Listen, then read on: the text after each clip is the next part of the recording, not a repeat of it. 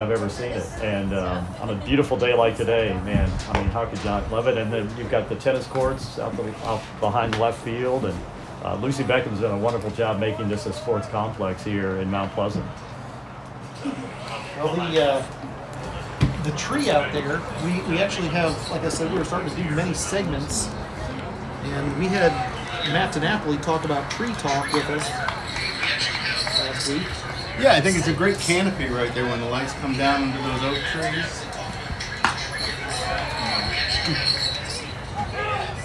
All over the shortstop. Oh, and he misses it by just a step. That was Perrin Ketchen backing up Max Kanish over at, at the 5-6 hole. A long, hard throw, and by about half a step, Devin Miller reaches safely. Good throw by the shortstop. Good arm, just took a, too big of a hop. Now we batting number two, Damian Varner.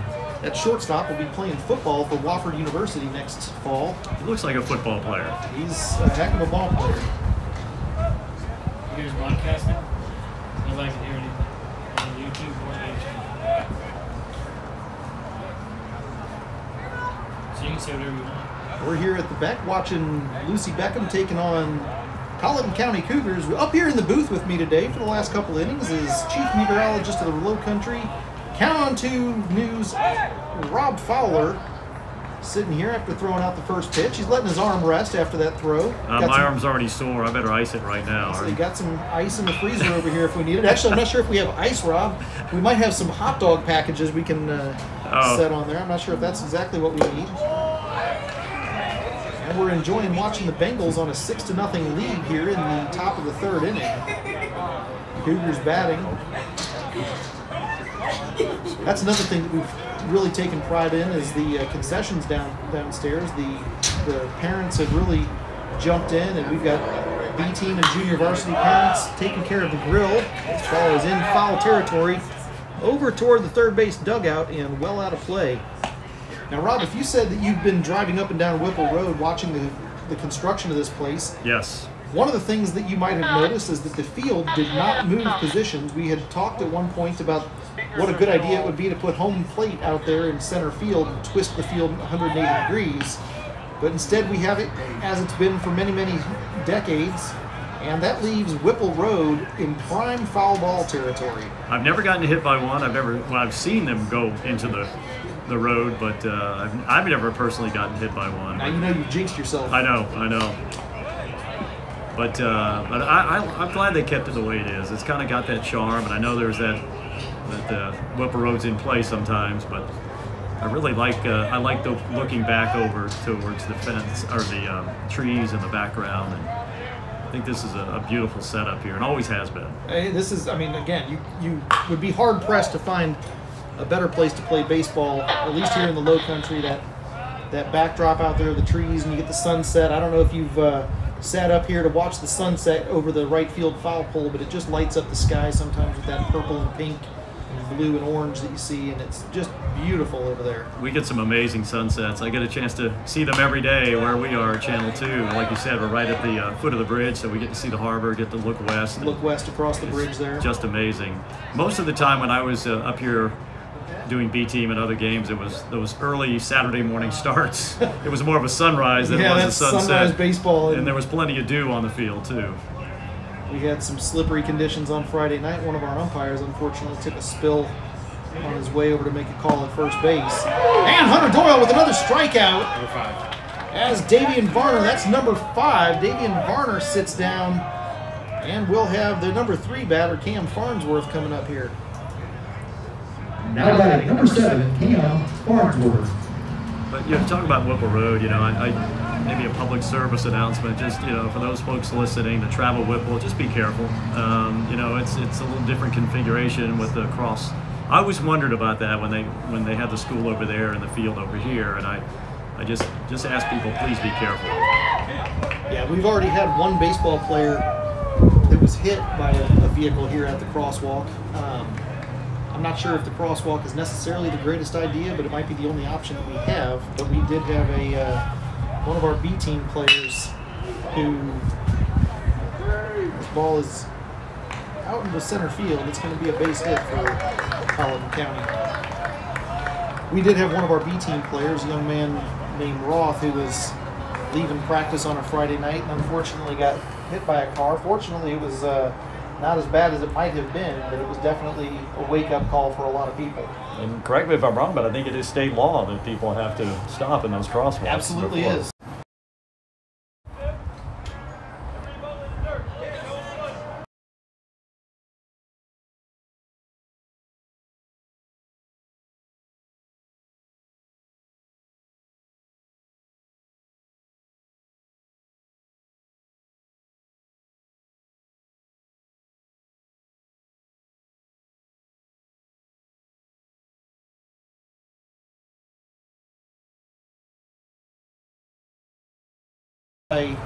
Timing or anything, but they have to be activated when a person is there, so you know if they're flashing, somebody's trying to cross. And, and we've talked about what they might be able to do in terms of making it higher visibility, adding some lights on the approach, or some extra signage, or maybe rumble strips in the asphalt. Well, Uh, for wonder, we just had a bunch of cops.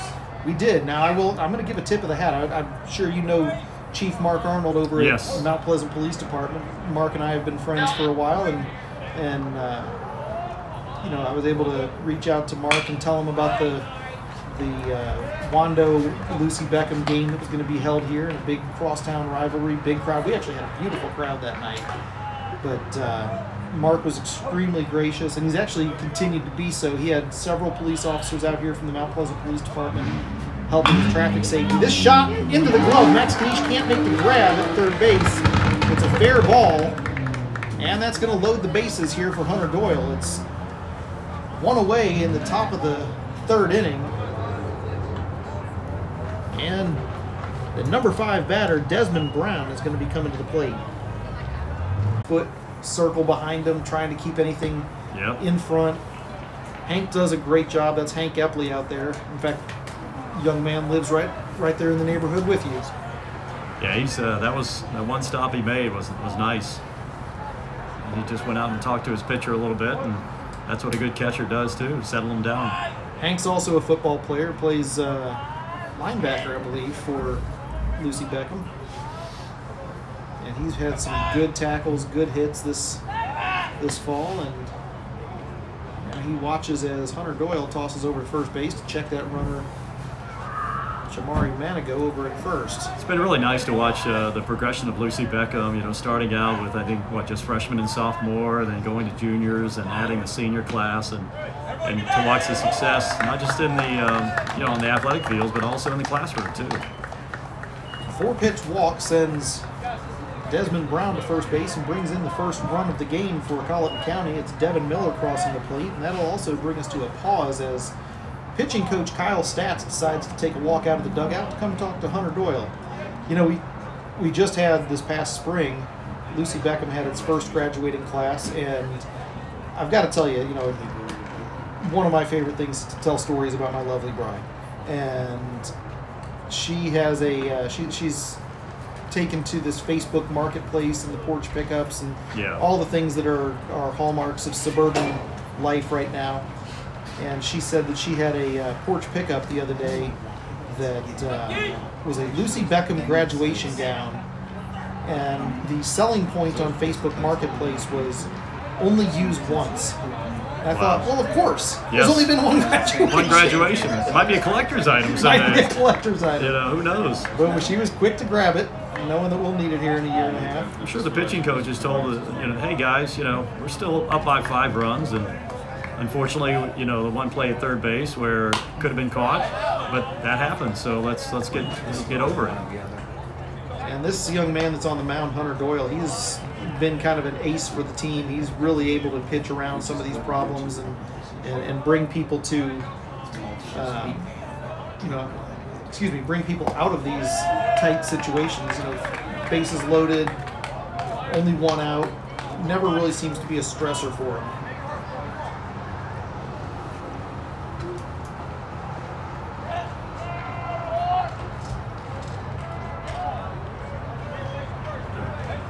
Now batting number four, Bruce Carpenter. not a whole lot of Bruces in the world right now. It's a somewhat uncommon name for this generation.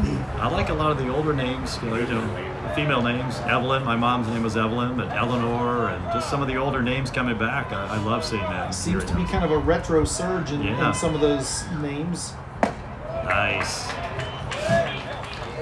While, it was let's see how many different ways we can spell the name Olivia or something. but uh, well, we're getting some information from Viewerland saying that the live stream was lost. I'm not sure if that was on Game Changer or or uh, YouTube, but that was a minute ago. Hearing that the live stream was lost. There's another run maybe saved by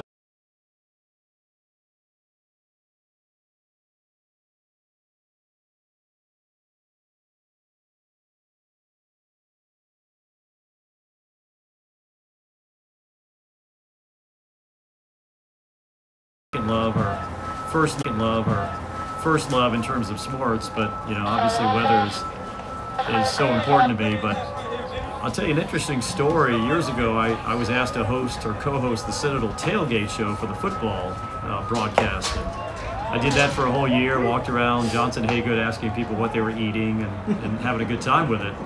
The very next year, the guy who was the the color, color analyst working with Ted Byrne, who the late great Ted Byrne, who was the play-by-play guy at the time, he got a job in Miami. Well, Aaron throw there will get him to second That and throw is going to make it out to right field, and it's going to bring each runner 90 feet further. It's all right. I like their aggressiveness, but just ticked off the glove. But anyway, so a guy named Mike Hoffman was the color analyst working with Ted, and he got a job in Miami. And this was like two weeks before the season started. They asked me if I would fill in as the color analyst role on the Football Network for a couple of weeks until they could find somebody. I actually filled in for 11 years. So. Just a, just a brief fill in. So I enjoyed every moment, and, and Channel 2 was so supportive, letting me travel with the team. I got to watch them beat Arkansas in Arkansas um, in 1992 when they won the Southern Conference Championship. And it was it was a, a fun ride. I, I love sports, and it just gave me an opportunity to do something I never thought I would actually do. Well, you know, Channel 2's always had that, that uh, I should say always had. It seems as though they've always been very supportive of those types of. And a third strike dropped. Hank Epley in a rundown. Hunter Doyle is going to make the tag at the plate, and that'll get him out of the third inning. That was well done by the, the catcher. Could have gone to first, but decided to go to third. I, I love that play. You know, I know Hank Epley was thinking about the risk of having that ball get away from Yeah. the first baseman on a bad throw or a missed catch and having the run score, so he went with the uh, the insurance play there. Sounds like I'm hearing Coach B.J. McConnell over on the right asking a couple of things about it, but bottom line is it worked out well, and it got him out of the inning. It's six to two at the middle of three. I just have to say there, I know Channel 2 seems to have always had a support for the sports, and, uh, you know, I cannot recall the gentleman's name, but there was a reporter that you guys had years ago. He was, I believe he was actually getting into the anchor side of things, but he was the voice of the Carolina Panthers for several years up in the, uh, the stadium, and he was able to go up there and do his. The music was a little bit too loud. There. Yeah, try that. Is that any better, Rob?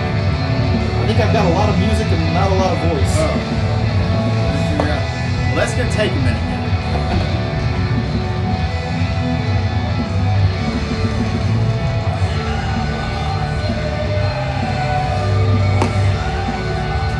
Still that loud? Uh, I've still got a. I'm not sure I can hear my own voice, but that's because, as many people accuse me, I think I like the sound of my own voice.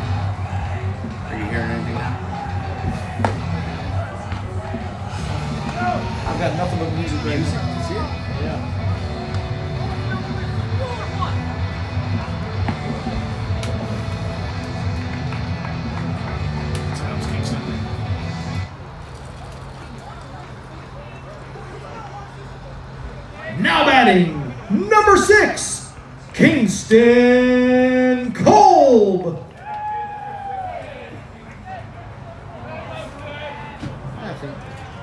There we go. There we go. So you're asking me a question on someone I work with. Uh, Well, you used to. I, I, you know, I believe the. I don't believe the gentleman's with us anymore. But it was just a commentary on, on uh, Channel 2's support for the sports. There was a gentleman that was just getting into the early days of his anchoring career, and he was going up to Charlotte. He was the stadium voice for the Carolina that was John, John Robinson. And, John uh, Robinson. You know, unfortunately, That is look at that shot. That's Beautiful. a nice base hit up the middle. Kingston Cole keeps his hitting streak alive. That young man has been hitting over 400 since the day the season started. Well, he put it right back where it came from, and Now batting number three, Tommy Byrne. Yeah, unfortunately, you know, the story with John does not end the greatest, but uh, it does have a, a lot to say about how Channel 2 was supportive of him going up there on those weekends and doing the Sunday job up in uh, Charlotte. Yeah, he was a um, he was a played basketball in Maryland too, and his son uh, was playing basketball, and he would travel to North Carolina just about every weekend to see his son play basketball. And, and he would come back and anchor um, and just do a fantastic job. One of the best anchors I've ever worked with. And also, you know, like you said, he became the voice, uh, the stadium voice of the Panthers, and started when they were at Clemson. When they started at Clemson. yes, I, you know, I, I forgot that he was there back then. Yeah, But uh, yeah, back when Panthers was too new to even have its own stadium up there, and they were having to borrow field space. Tommy Byrne puts a ball into the air out in center field. Jamari Manigo drifts back and makes the grab. And the only problem with that one, he just hit it right at him. Otherwise, that would have been in a gap somewhere because Man, he I'm hit it well. you, if that one would have been 30 feet to either side, it might have been a base hit. Now batting number 15, Max Kanisha. Like I was telling you earlier, this young man, this freshman, coming in here all smiles after the game the other day, equally happy with it was his family. His mom and dad were just thrilled, and it's so much fun. You know, talk about these these family moments and, and these four short years that you have to watch your kid play high school baseball. And here's man, that was a nice throw. That was a nice throw and, and a good tag. And Kingston Cole removed from the bases as he tries to take second. Catcher Britton Jarrell with a nice throw just in front of him. And second baseman Devin Miller able to apply the tag. So the bases are empty with two away here for Max. In the bottom of the third inning. This ball is on the ground. And a 6-3 putout gets it done. We're at the end of three. Lucy Beckham leads by four. It's 6 to 2 at the back. As we play baseball here in Mount Pleasant, South Carolina, Lucy Beckham Bengals taking on the Cougars of Colleton County. And up here in the booth with me, Rob Fowler from Count on Two News. Rob, the meteorologist, excuse me, chief meteorologist of the just- Low Country. that just means I'm the oldest guy. Well, you know, here's the thing. You guys have a knack for finding young talent. I mean, you We had. Joey do. Sovine. yeah, well, Joey came Oh, with yeah. Joey was with us and then went to Fort Myers. Here's an interesting story. So Joey was with us. He, he and uh, Chanel went to Fort Myers. His family and her family loved Charleston so much that eventually they moved here. So then Joey and Chanel had no choice but to move back. So, um, and and Joey's Joey's a dear friend. Works over at Channel He's over five now. Yeah, and uh, a dear friend, and enjoy working with Joey. We've we've got a really good crew. We've got a good. Josh Marthers has been just fun. I mean, Josh has been with us for seven, about 17 years, and and just one of the better meteorologists you'll find, not just in the Low Country, but in the country. He's he's got a, a special um, talent, and uh, love having him on our team, no doubt about it. and let's see, you've got Olivia with you now? Olivia used to be. She's uh, she's taken a step back from weather, uh, and uh, we have Grace Lau, who is a College of Charleston graduate in meteorology, and then we added this guy named Jed Kristoff. And I'll Now tell batting number 17, Britton Jarrell. Jed grew up on Johns Island and uh, went out of state for meteorology school. First job was in Montana. Spent three years in Montana and emailed me at the beginning of the year, last year, and basically said, Rob, I want to come back home. And I said, you know, um, send us your tape. And he did, and we had to hire him. Up here is- yeah, It's going to be just outside of the play. So we've got uh, we've got myself and Josh, and then Jed and Grace. That's our team, and Um, couldn't be happier with the, the team. And then we've got so many wonderful young news uh, reporters and anchors, and uh, I can name them all, but hopefully people will watch and, and, and check them out because they're all so dynamite. You know, it's funny when uh, when Olivia had her first broadcast as a weather reporter. That was a strikeout for Hunter Doyle, and that's number six.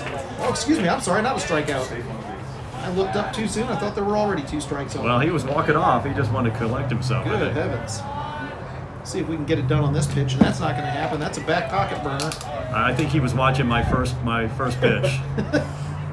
Well, I Don't- was don't about lie. I was about to say something about what a great mentor and, and, and teacher you are. I was going to talk about how Olivia's very first broadcast. I got to see that one night, and, and you know this. And hang on, we're going to have a play here, possibly. Nope, this one's going to be over the backstop net again. Hunter Doyle trying to hang, help Hank Epley find it, but it's out of play. You know, Olivia on her first night.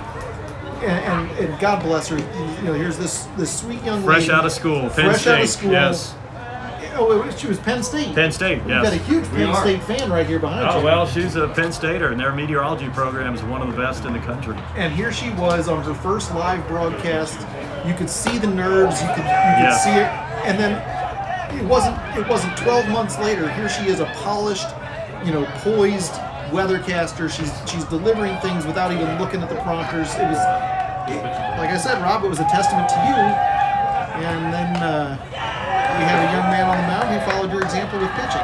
Well, I tell you, yeah, I've been very lucky that we've, we've got a good team that uh, that wants to learn. They're sponges, and Olivia was that. And uh, um, Olivia met a, a player for the battery and, and decided that uh, you know maybe TV weather because I'll be honest with you, the hours are the hours are not great. Um, you know, we have to get up early in the morning. We have to stay late at night. We have to work weekends. We have to work holidays, and that, that's no. You I'm right there with you. Yeah, you know, you right know how it is. you. You know, we're, I'm not a martyr. I love what I do, and uh, but you know, we do news just like you guys do what you do, 24/7, 365. You got to have balance. and and so you know, for some of the young kids coming in, it's it's an adjustment for them. That was a nice pop fly in the right side, and two little outs right into the gloves of Max Kanisha and now Hunter Doyle. The uh, you know you, you do guys you guys do have a great team, it's always actually been very supportive of us. Yes. Now batting Devin Miller. Carolyn Murray has been just abs. Oh, that's going to get a piece of the jersey and send Miller down to first base with a hit batsman. Now batting number two, Davion Varner. as I was starting to say, Carolyn Murray has been such a huge supporter of ours with the uh, uh, the Charleston Police Foundation originally, Yes. now the Lens Foundation. She's been there for our uh, uh, for our banquets in January. she's been the MC the last couple of years. Uh, she was always a dear friend of Chief Luther Reynolds, Oh, absolutely. and she's. Oh, there's There another nice catch into the glove of Max Kanisha, who is really starting to look comfortable over at that hot corner. They call it a hot corner for a reason. He's been tested over there today, and the freshman has done well. A couple of uh, couple of little glitches at first, but he's bounced back and really come back to make a difference here in this fourth inning. No runs plated in the top of the fourth. It's six to two as we go to the bottom half, and Lucy Beckham. Well, shoot, I actually lost track of where I was with who was due up. We'll figure out who's coming up in just a minute. Holman Blake. You guys tell me when you want me out of the seat.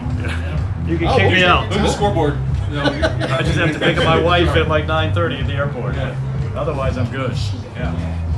Well, uh, you know, Carolyn is, uh, I consider her a sister. Uh, we've worked together for 20 years, uh, side by side, and there's no one uh, in Charleston who cares more deeply about this community that she grew up in and, um, and loves the police, loves everything she does, and, and loved Chief Reynolds. We, I remember the first time we met Chief Reynolds, it was at a, uh, a uh, kids fair and it was down in the Gaillard, and he had just gotten to town, and she and I were doing it together, and, and we just really, really from day one connected uh, with Chief Reynolds, his wife as well, and, and just really just sad about what happened, but no, his he's left a legacy that, that so many people are aspiring uh, to be great, and and thank you, Chief Reynolds, for what you did while you were here. and I think Carolyn was able to relate to him in his in his last year or two with the uh, the struggles that she's been through, and you know, her husband has been right there, you know, helping her along. Her husband, and, and we talk about Carolyn.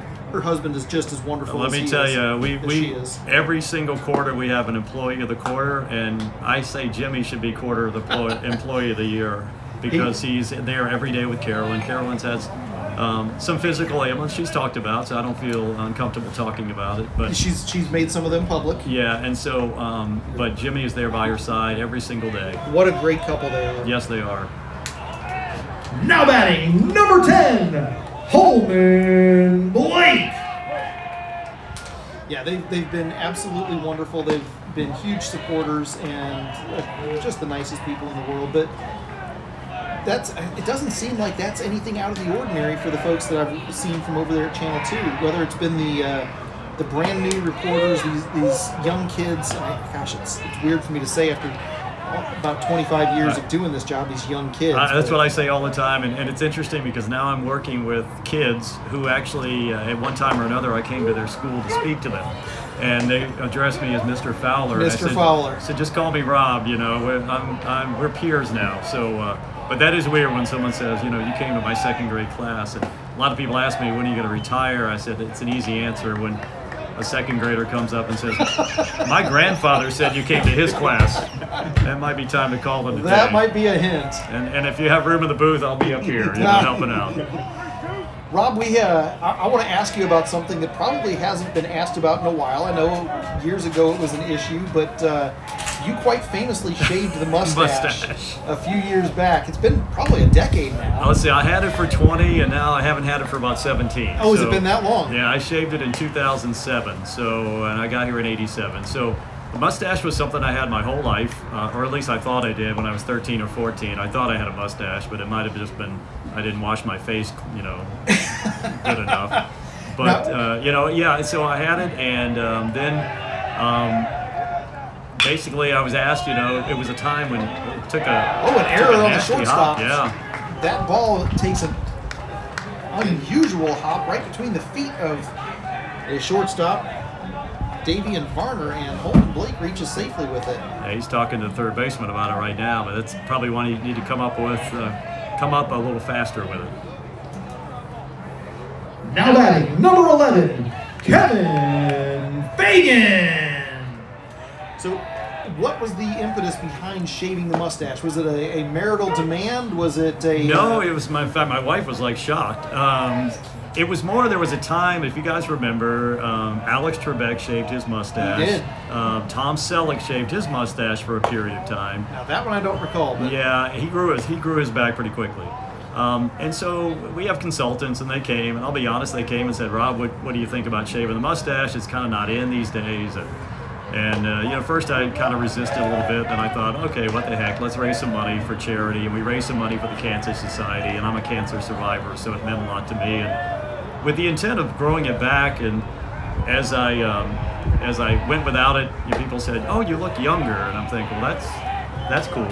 So, um, so I just kept it off, and, and then you know just didn't grow it back, and, and people ask me about it all the time, and, and for some people who grew up here, they remember it. For some people who didn't, uh, they they have no idea that I had a mustache at any time. But I guess I- I'm honored by a group of young men who decided to form a band, and you are one of the few people who has ever had a musical group named after your facial hair. And Rob so, Fowler's yeah, mustache. So Fowler's Mustache is a band, and they're, they're really good guys, and they still play every now and then. So uh, I'm honored that they carry the tradition and keep it going. Now batting, number 12, Riles Morris. Fowler's mustache. I'm sure that they. Uh, I'm sure that they have a website or a Facebook page somewhere. Oh, they do. Probably find where they're playing. Yeah, I, I uh, they're they're they're husbands and dads now, so they don't play as much. But nice bunt. This bunt laid down the third base That's a side. nice bunt. He's safe as the That's throw a- is just high and the first baseman has to jump for it. Cam Farnsworth not able to drag a toe fast enough, and Riles Morris loads the bases with a bunt down the third base side.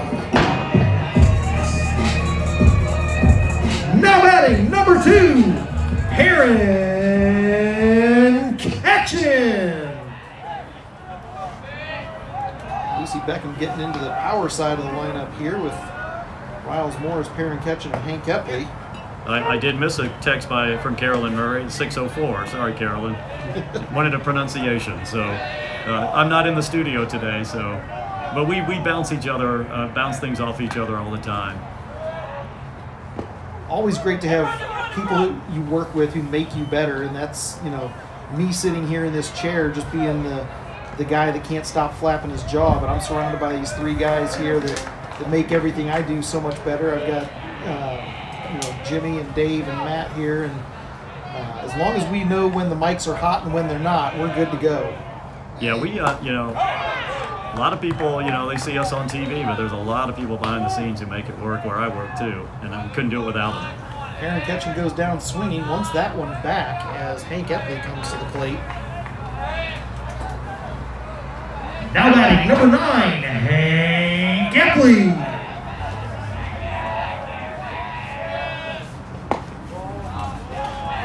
Yeah, it's it's one thing to see the uh, the guy on the whether it's Jim Nantz or Rob Fowler. It's one thing to see the guy on screen who's uh, kind of the public outward facing face of, of the broadcast, but it's a whole other thing to really look at the work that goes into getting the things set up, maintaining everything, writing, planning, researching the stories.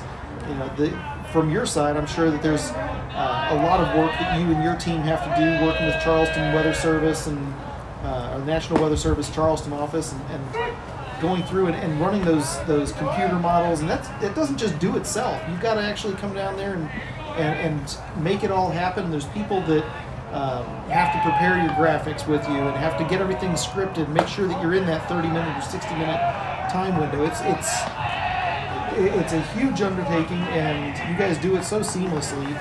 Um, you know, Channel Two, quite frankly, I'm sorry, Bill Walsh, if you're listening, but uh, my go-to for local news when it comes to the broadcast news here. Well, we appreciate that. Just tell me who I need to write the check out to, and I'll. You know, We'll get you a list. We've got a we've got a Lucy Beckham lengthy list of names. Lucy Beckham baseball is at the top of Well, it. let me tell you, I, you know, of course I'm biased, but uh, it's just a good group of people. Uh, we like each other, we love each other, we, we work well together, um, and we've got management that supports us 100%, and that's important too.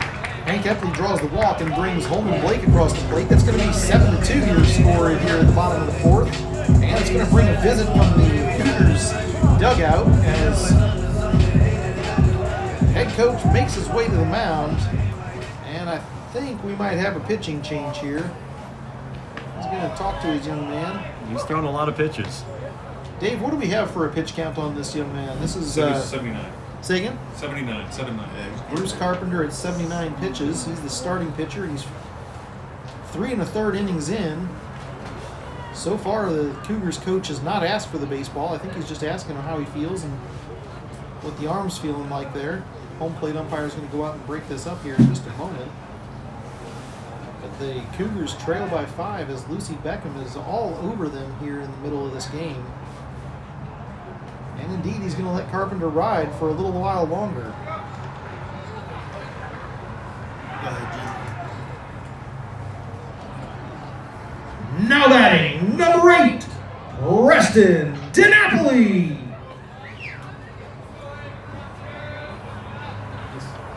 Young man's good for another 31 pitches at most under South Carolina High School League rules. 110 is what they'll allow these guys to throw after five days rest. He just looks a little tired out there. It's, That last one fell well wide and Yeah. low. It just doesn't look like he's got the same control or velocity that he had at the beginning of the game. And he actually looked pretty good at the beginning of the game. And he's missing just outside again. Got any timeouts yet? Say again? Any Preston and Motley timeouts? No, no, we haven't had any. Uh, this this young man at the plate here, Rob, is.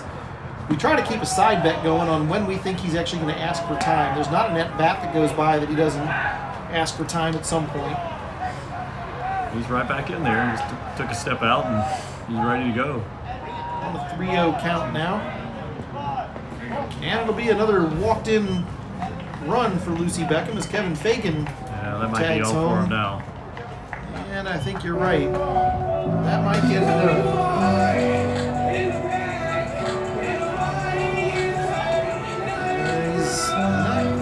there yet. Hasn't stepped across the.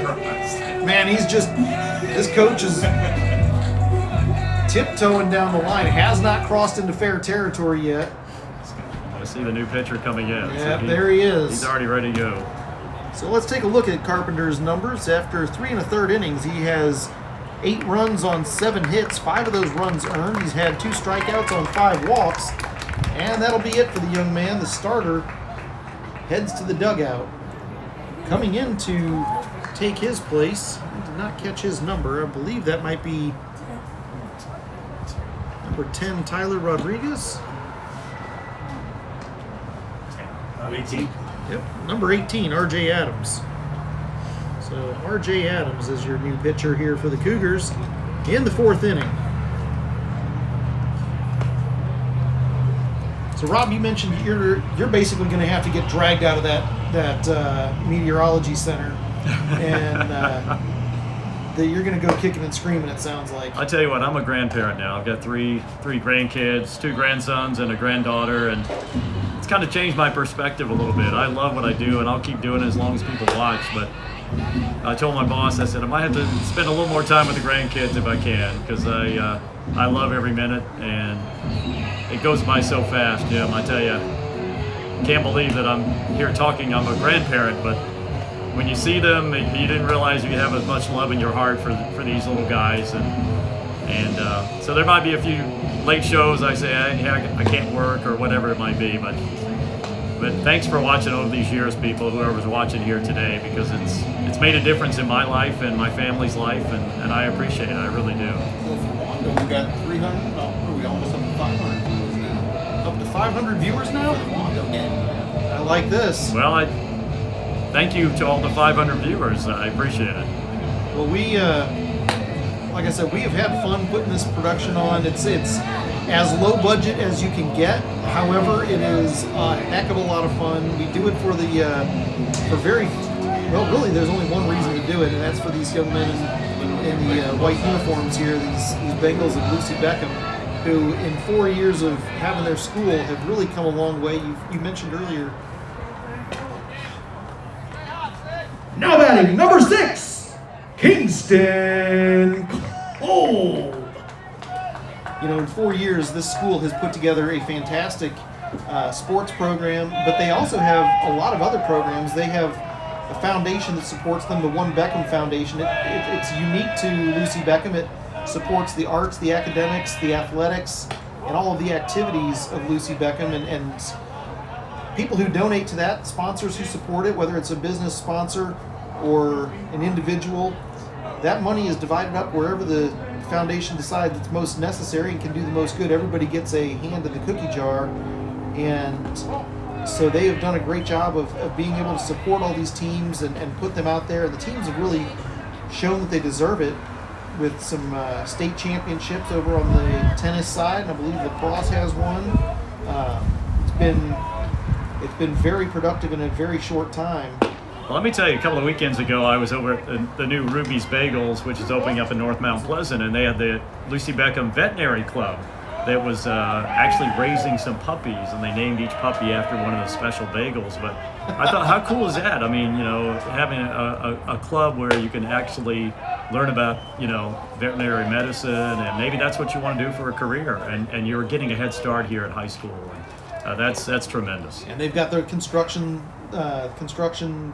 Uh, I'm trying to remember the exact name of the program, but it it's a uh, program that teaches these young men and women about the commercial and residential construction science and, and arts and they uh, between that and the veterinary there's several programs that really kind of set this school apart you mentioned ruby's bagels i've got a bag full of them on my counter right now Well, I tell you what, they uh, they've done a great job investing in Mount Pleasant and the community, and and uh, really nice people. We've done some things with them already, and and uh, appreciate their their support in many things. Oh, their staff up there was fantastic. I went in there and didn't even know that I wanted a bagel, and I left with a dozen. So either That's good salesmanship. I was just say either I got taken, Now batting number three, Tommy Byrne. either I got taken, or uh, they have some of the nicest and best people up there selling bagels.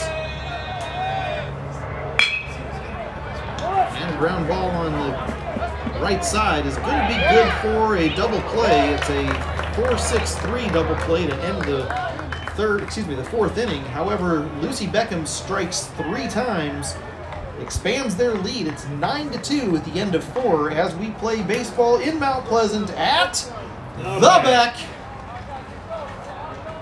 So a guy like Rob Fowler, who's been around, lives in paradise, works in paradise, knows the weather wherever he's going, has every tool at his disposal. Where does a guy like him point a dart at the map and say, "This is the kind of place that I want to go"? Where Where's Rob Fowler's favorite spots on earth? Oh gosh, that's a great question. Um, we've been very lucky at Channel 2. A few years ago, we started these trips with uh, viewers, and my wife and I, Car and I, get a chance to go with viewers to different places, and we've traveled the world. But I'll tell you, the place that that surprised me so much was Utah. Utah. Uh, I absolute arches, Zion, Bryce, um, Monument Valley. I, there was just so many cool places in Utah and Arizona because we did visit the Grand Canyon. Well, you get that close to the biggest hole in the ground, you got to go look at it. Yes, and I just it was. I, I remember I was working out at a place and I'd gone for a couple of weeks. And the guy said, "Where have you been?" And I said, "Oh, I've been on a trip to Utah." He said, "Utah? What's in Utah?" I said, "Have you been to Utah? Check it out. It's really pretty." So um, I, I don't know if I would. Uh, I love it here. I, I like the beach, but I love the mountains too. So if, if I could do both, I would probably spend part of the year out there and most of the year here. Now batting number seven, Cam Farnsworth. We're gonna make that trip out there this summer, actually. Oh, it is amazing. It is amazing, and, and uh, you'll love every minute of it. It's funny you bring up Utah because right now here's a pop fly on the infield, Tommy Byrne underneath it, and there's quickly one away as the Cougars are trying to chip away at a seven-run deficit here in the fifth inning. It's nine to two, Lucy Beckham, and it's been Lucy Beckham since the beginning. They've not taken their foot off the gas pedal, and now it'll be Jamari Manigault, the center fielder, trying to deal with it. I probably should know this, but is there a 10 run rule? And it not saying that's going to happen, but I'm just be curious. Ten after five, Five. eight after, no, ten after four, eight after five. well, right now it's only half past seven, so I'm not sure which way it's. But I'm bummed. No, it's funny you mention uh, Utah because we're trying to plan a family vacation for this summer, and everybody in the family has been saying different different places with beaches and you know blue water and and then uh, the young man who's been popping up here, my my younger son, comes in with Utah last night at the dinner table. Good choice. Good choice. Now batting number five, Desmond Brown. Yeah, he uh, kind of came out of left field with Utah and raised a few eyebrows with everybody thinking that they were going to be sitting on white sand and looking at uh, turquoise water. And he said, Well, I got a different color sand I want to look at. It, uh, it, it took my breath away, just the views. I'll tell you, we, we took a trip last year, last March, to Iceland, and uh, what a cool place that is. And that might be a thr- Interference, strike interference. Yeah, he called it. He called it. He called it. He called it. He called it. Interference on the batter. Hitter can throw batter down, runner goes back to first. And an interference call changes the fortunes of Colleton County here. Desmond Brown was called for interference at the plate. He was interfering with Hank Epley's throw down to second base. That throw went wide past Tommy Byrne over into shallow right center. The interference call takes Desmond Brown out of the batter's box and records an out.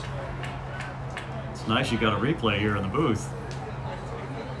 And Jamari Manigault heads back to first base on the interference call.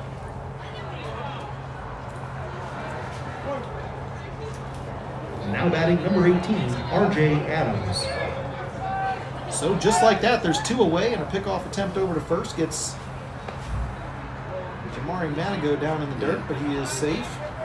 He fell over on the plate. And another pickoff attempt over to first. Yeah, Rob, we might not have the uh, we might not have count on two budget, but we uh, we, do have iPhone. No, I love that. You know what? Um, a lot of our reporters now are shooting their stories with iPhone. You know, it's funny you say that because I Yeah. I spent the last four and a half years as the commander for the Central Business District, and all through COVID and all of the uh, the civil uprisings and, and all that time down there on King Street and Market Street, I was constantly having uh, interviews with reporters from you name it, print, media, uh, broadcast, everything. Here's a ball in the air to right field. Kingston Cole makes short work of that. We go to the bottom of the fifth inning, still on top by seven. Bengals over the Cougars, nine to two here in Mount Pleasant, where baseball is being played on this beautiful field known as the Beck.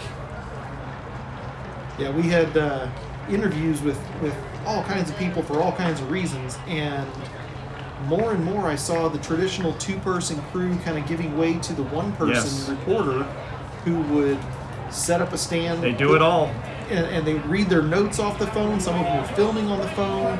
It was it was almost comical sometimes. It's it's amazing how yeah, and the quality is really good. But I you know I think COVID um, in the broadcast industry changed things around. You know now you know before you would have to go to someone's place of business to interview them. Now you ask them you have five minutes to get on FaceTime or Zoom or something and, and do an interview that way, and, and the audience has accepted it. So it's given us the flexibility to probably cover more news because of that reason. But yeah, they uh, the reporters kind of like it. They take their you know with all the equipment they have with between the iPhone and they hook up a microphone up and you put a light on your phone, a ring light, whatever it might be, and, and it's a small.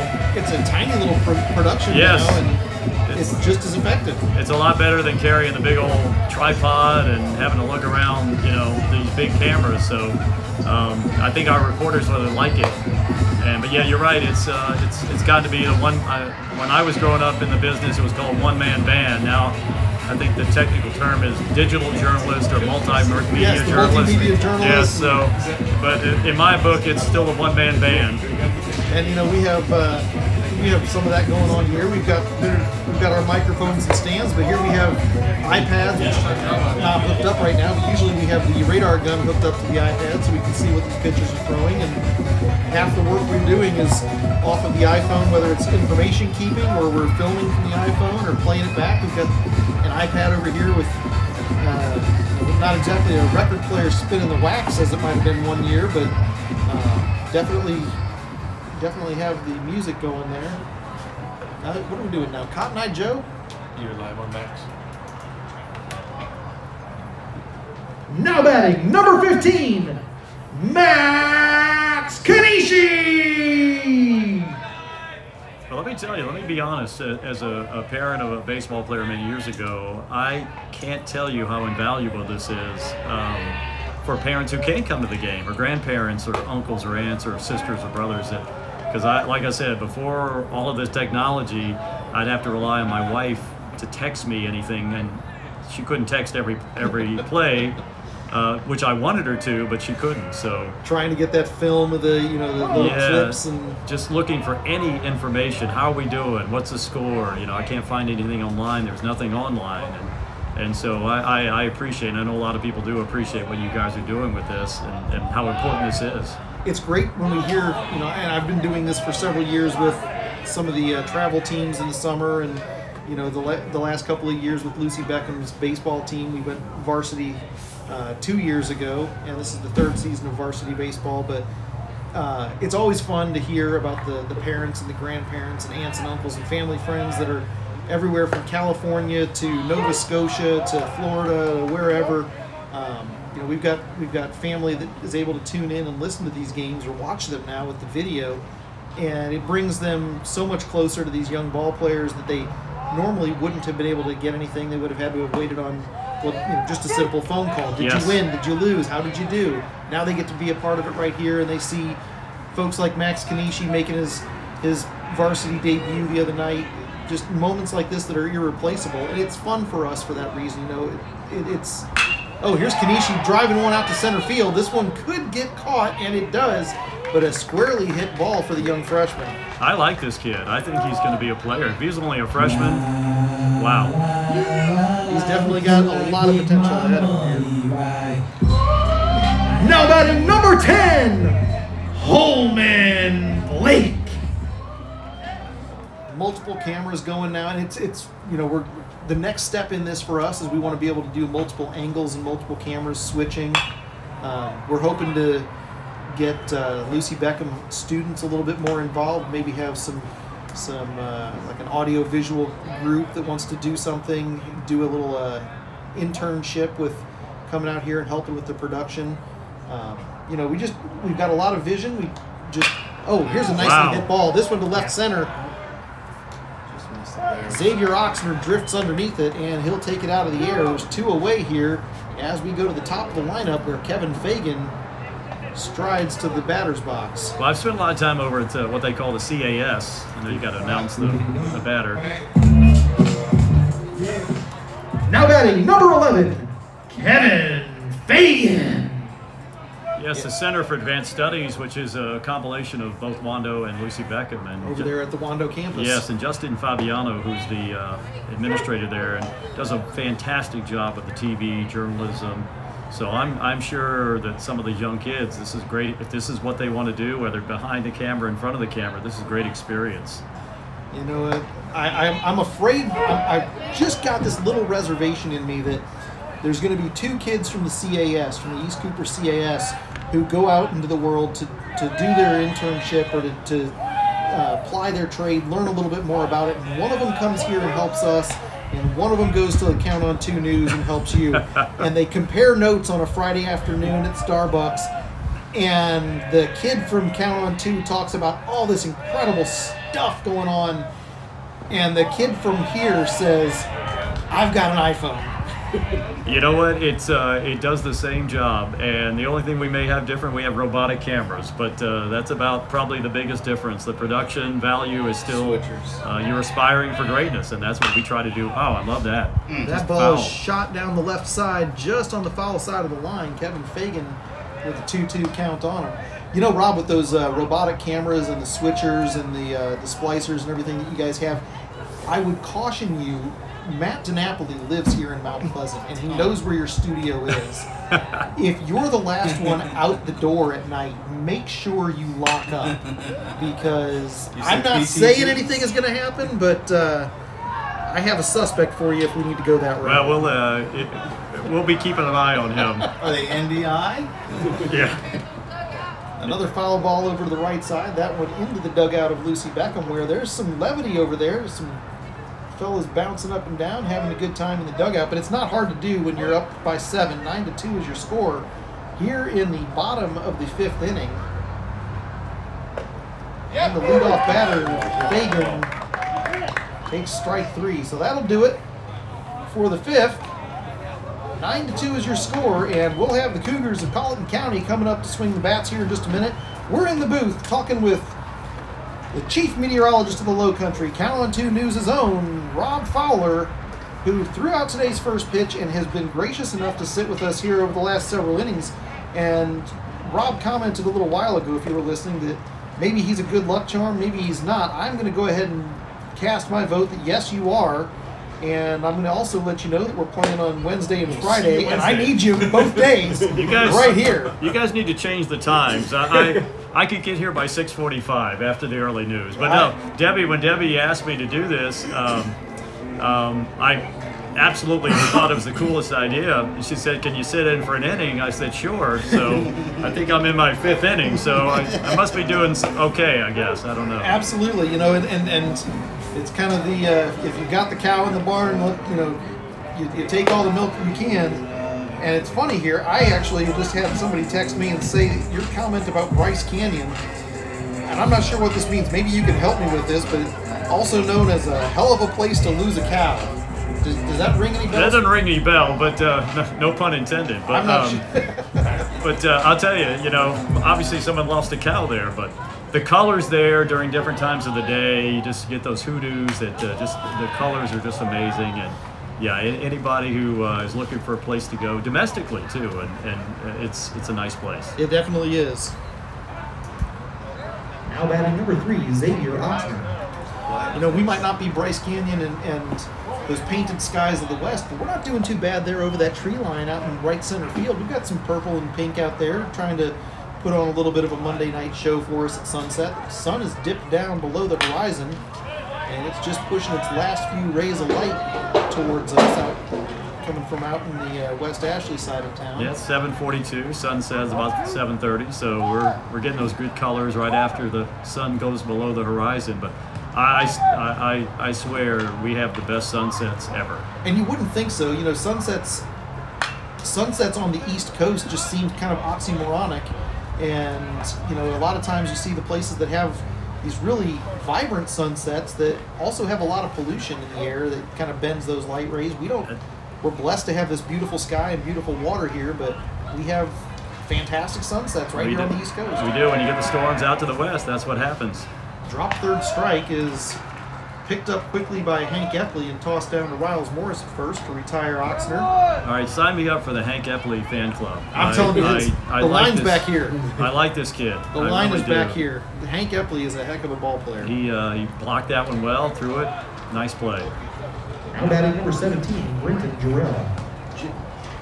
Jim, you know what else needs water around here? What else needs water There's around? live oaks out in center field. Sixth inning tree talk with Matt DiNapoli. We told you we'd bring the segment back. The oak trees out in center field getting a lot of love from Matt DiNapoli late in the game. A little bit of Bermuda grass. Little Ber- well, the Bermuda grass actually looks great, and I don't know how much nitrogen they've pumped into this. Rob, you missed it last week. We had on Wednesday a fresh topping of. Uh, I don't know if it was Cottonburg compost or composted manure or what it was, but holy cow! I, Farmer Brown come to town. It was pungent up here at the booth. Wow. So I'm wondering how, how did the field do after our heavy rain a couple of Saturdays ago? So that's the funny thing is it, it obviously it took a, a ton of water on the field, but uh, this field a nice strikeout from Hunter Doyle, and as the boys go to throw it around, it makes its way out towards right field. That'll be all for around the horn on this time. But there's two away here as we reach the ninth batter in the order, Brian Hamilton. Now batting number 9, Brian Hamilton.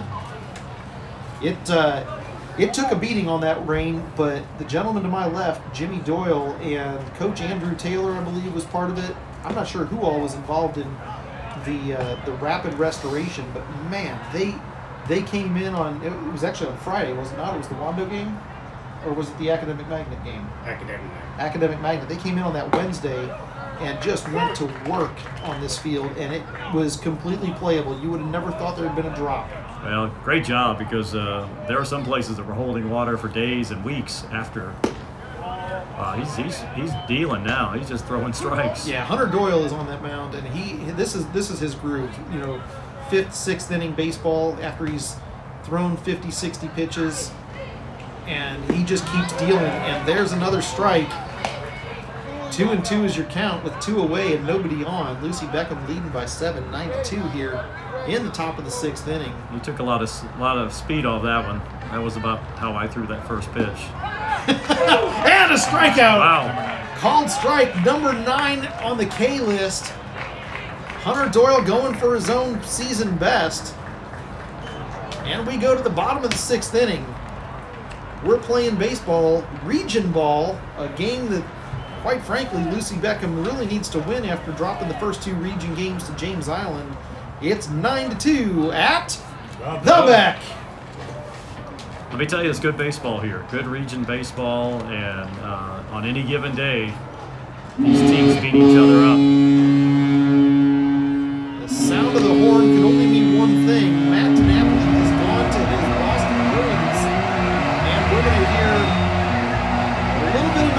trying to get the boys in white pumped up over the dugout. Here they go. Starting to see some dancing. Rob, you are noticing what, uh, what we have known here for the last several weeks, which is this window has got to be the most inconveniently sized window in sports broadcasting Uh, unless you are seated right here, Yes. you can't see both foul poles. And good luck to you if you want to look into both dugouts.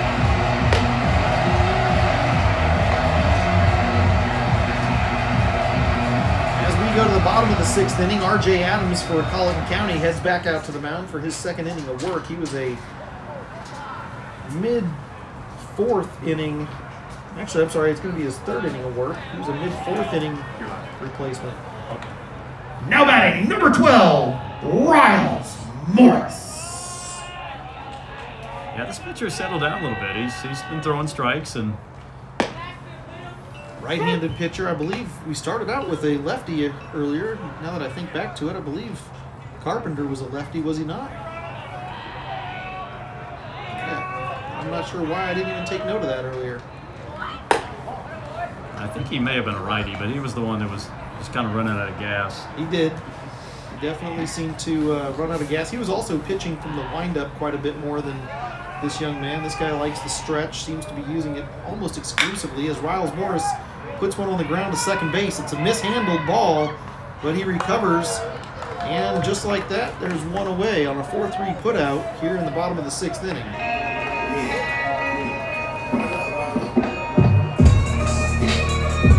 Now batting, number two, Perrin Ketchen.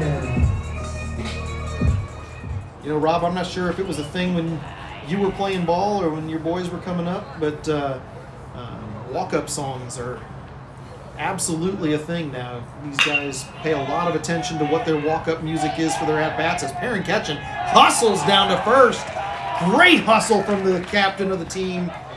As his ball on short to shortstop is misplayed, and he just beats the throw. Great running by that young man. Now batting, number nine, Hank Epley. And I gotta say, when it comes to the walk-up music, some of it is of questionable quality. I uh, yeah, I don't think we had walk up. There's a walk. I don't think we had walk up music when I was playing. Perrin Ketchen, I think, is the one to char- is the one responsible for that balk. He was jumping over there at first base, and I think he got Adams just to, to bite strongly enough to sink that hook and, and get the balk. So now he's at second, and Hank Epley has a change of pace. Oh, nicely played by the third baseman. That ball goes across the infield. Perrin Ketchen won't have a chance to advance. Third baseman Desmond Brown did a nice job grabbing that. Now batting, number eight, Preston DiNapoli. Hank Epley, you talked about being a fan club member now, and, and like I said, the line starts way back here. There's there's a lot of people that like watching Hank Epley play baseball, especially as the catcher. But last year he was the Silver Slugger Award winner for the Lucy Beckham Bengals. He led in home runs, batting average, and I think number of hits as well. Now they're gonna call Preston for anything. Yeah, now they're uh, kind of. Is that a makeup call or some? I don't know. I thought number eight uh, tried his best to get out of the way. So the catcher tossed down to third base. Morgan getting hit. Yeah, he almost got hit. If anything, Perrin Ketchen slid in safely. The original call on the field is safe at third on a stolen base. The catcher is asking for an interference oh, call. a ball up and in that forced him to step back. I think the, the pitch itself is what pushed Yeah, DiNapoli back him to the take back one of to the helmet. box. I give the umpires a lot of credit. They're they're talking about it. See if they can get this figured out between the two of them before they go public with any announcement. While they talk it over, give you a quick recap. It's nine to two here in the bottom of the sixth inning. Lucy Beckham struck first. In the bottom of the first, they put six on the board. Wait for the call here. Maybe they keep it the way it is. And that's going to do it. The uh, steal at third is good. Perrin Ketchen down there at third base now, and Preston DiNapoli with a 1-0 count on him, and two away in the bottom of the sixth inning. R.J. Adams delivering, and he goes inside and hits DiNapoli. I'm not sure if that was a little bit of payback or if that was just a loss of control on the pitch. But the hit batsman puts runners at the corners for Lucy Beckham. You're good. Now batting, number six, Kingston Cole. We had six come across the plate in the first inning. Cougars answered back in the third with a pair. And Lucy Beckham went back to work in the fourth and put three across the plate then. Now they're 90 feet away from adding run number 10 if Kingston can keep this drive alive and bring Perrin Ketchen in from third base. we were a little afraid of how cold it was going to get here tonight. You, know, you mentioned earlier there was a cold front coming Yes. in, and I don't want to point any fingers, but holy cow, this ball is in the air. Could it get past him? It does. It's going to touch the wall. One run in. DiNapoli comes around third. He's getting the wheel. Throw at the plate. And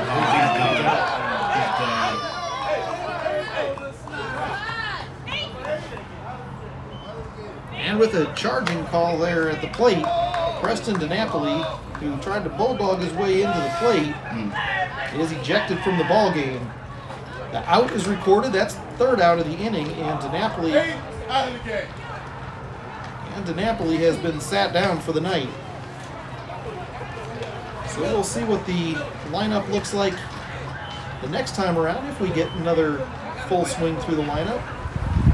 Instead, we're going to have a relief pitcher coming into the game. That's number 13, Sam Dealman, coming to the mound to take over for Hunter Doyle here in the seventh. That was a good good relay throw from the outfield. I have to give them credit there. Yeah, I was very surprised actually that he got the uh, the go ahead on that. I thought they might have held him up, but But I, I was almost going to say that's going to score two, and, and they made a nice play. The catcher a little high, but he's a tall kid, caught it. And he actually had to jump up and go Yeah. upstairs for it. He brought that thing down with some enthusiasm. And unfortunately, Napoli right there trying to go through him to get to that plate is enough for the umpire to see. I didn't see anything violent, just more of a. It's kind of in the wrong place at the wrong time. I think he thought maybe it was going to go over his head. He wouldn't have to slide anyway. A little bit of a bull in a china shop. Hunter Doyle is on the bench for the night as Sam Dealman comes in. We'll talk about Hunter's night in just a moment. Now pitching for the Bengals, number 13, Sam Dealman. And now batting for the Cougars,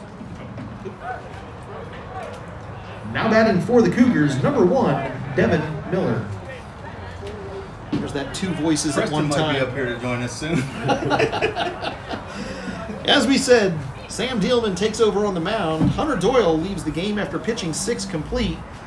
Gave up two runs on three hits, struck out nine, walked one. Another fantastic performance for the junior pitcher. And he can sit down with a smile on his face, knowing that he's got his team up by eight. It's 10 to 2 here in the top of the seventh as we get underway here at the back. That's all you ask of your relief pitcher: throw strikes. That's it, and a mm-hmm. nice, Just need three outs. nice called strike there to start things off. Rob, we haven't offered you anything to drink yet. Are you thirsty? Oh, I'm good. We've got a whole fridge here. I play over at first. Dealman takes it, Very nice. Very nicely nice. done. Riles Morris fields it. Dealman and Byrne both on their way over to cover, and Dealman ends up getting the toss.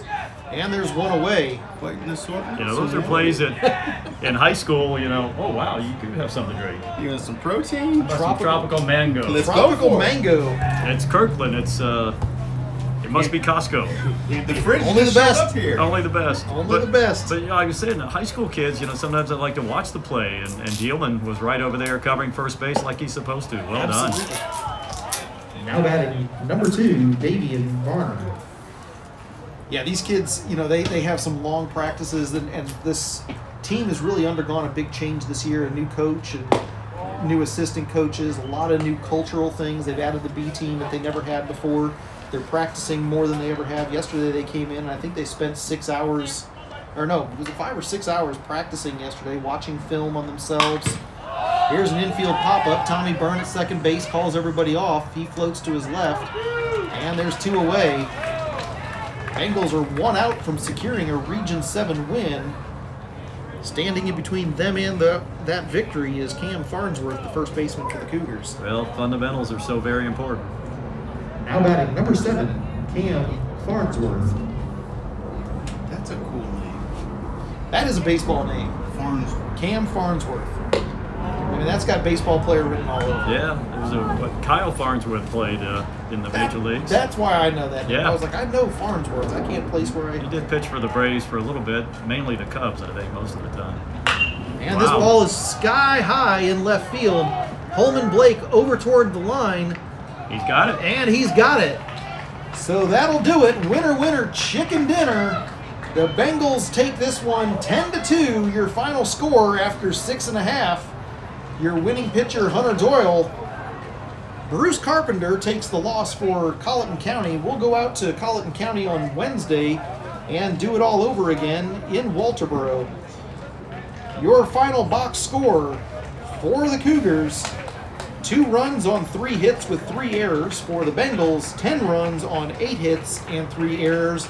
And for count on two, Rob Fowler, the chief meteorologist of the Low Country, goes six and a half complete. and No errors. I don't know if meteorology relies on math, Rob, but when you say you were going to come up here and sit for one inning and you ended up six and a half times longer than that, I got to tell you, A, I hope you're not.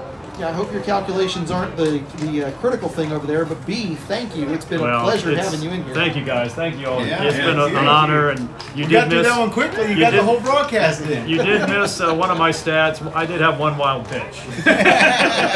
Again, we didn't see it. You know, it's, it's a bad angle up here. We can't see all that. It's hard to say.